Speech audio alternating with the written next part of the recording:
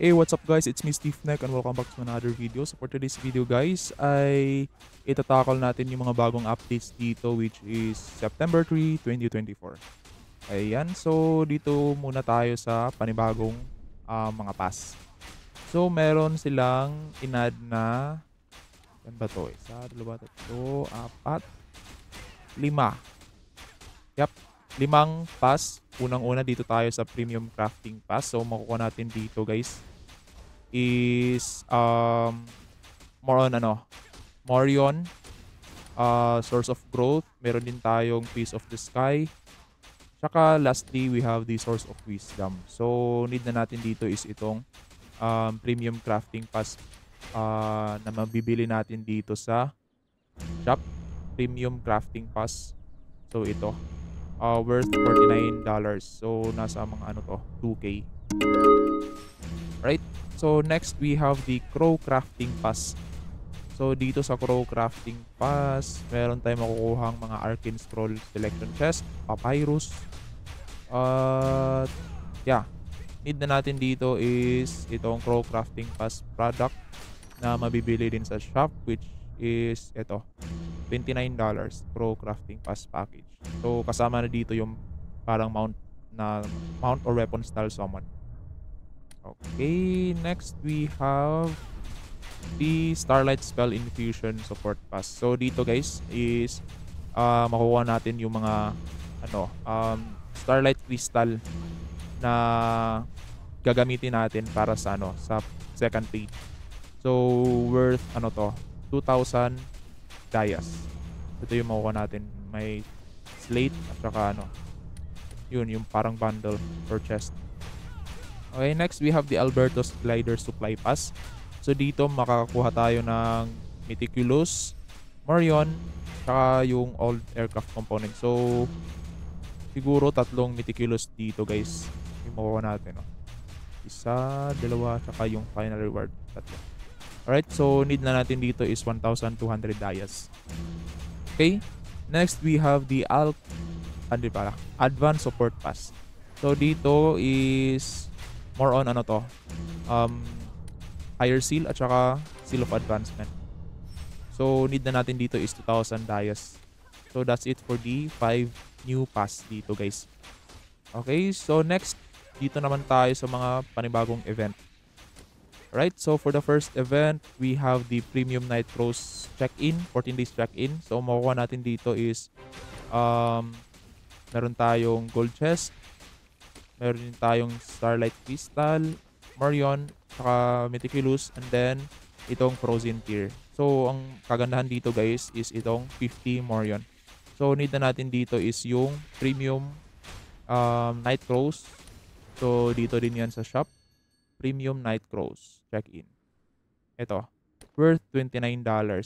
So, may kasama itong extraction times 11. So, pwede tayo makakuha ng um, legendary to uh, common na tawag dito, element.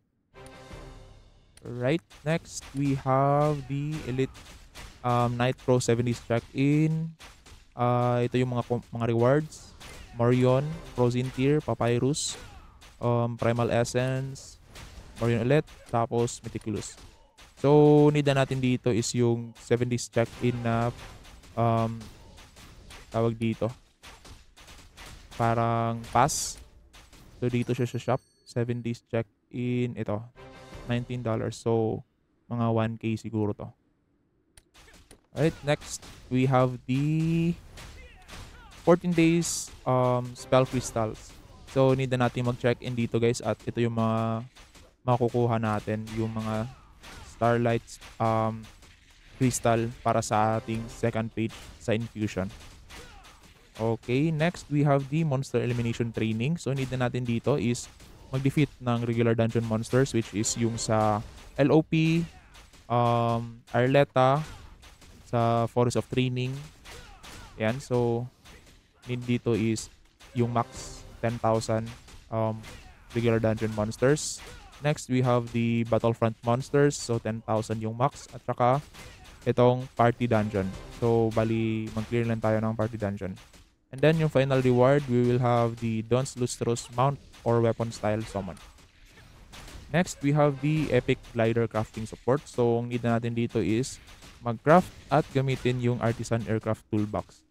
So, maximum craft dito is 7 para makuha tong Meticulous. And then, yung Master's Aircraft Toolbox is isa lang yung um, ika-craft natin dito which is yung parang may um, piece of hindi pala, yung parang ano yun, master ito, yung may essence. Okay, so malapit na tayo makapag-craft ng master's aircraft guys. Right? So, next we have the Hindi pala, ito, may final reward. So, meron tayong glider chest dito sa Epic Glider. Next, we have the Rare Glider Crafting Support.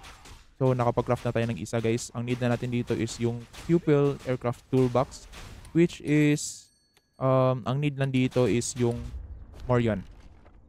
Ano yun? Glider, tsaka ito. Morion lang talaga. So, ito yung target natin since uh, yung i-craft natin or yung need natin is yung Meticulous. Yan.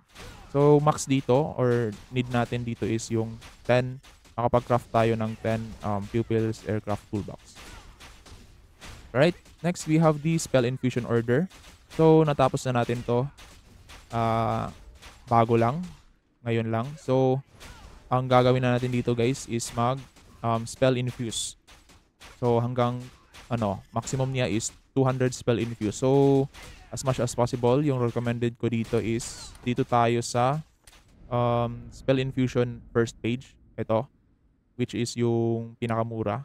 100 lang yung need nating i-load dito. So, make sure na i-save niyo yung stats niyo And then, uh, mag-craft kayo ng Spell Infusion Crystal, which is yung sa 1, uh, yeah, Crystal 1.